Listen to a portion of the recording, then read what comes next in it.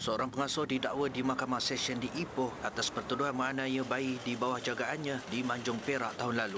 Tertuduh Nur Amira Dayana Mat Darus, 27 tahun, bagaimanapun mengaku tidak bersalah selepas pertuduhan dibacakan di hadapan Hakim Azman Abu Hassan.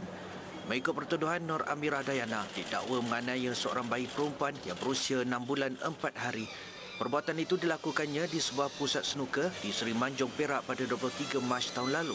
Bagi kesalahan itu, dia didakwa mengikut Seksyen 31 Kurungan 1A Akta Kanak-Kanak. Jika sabit kesalahan, ia membawa hukuman penjara maksimum 20 tahun atau denda sehingga RM50,000.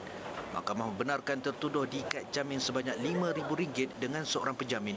Sebutan semula kes pada 17 Mei depan.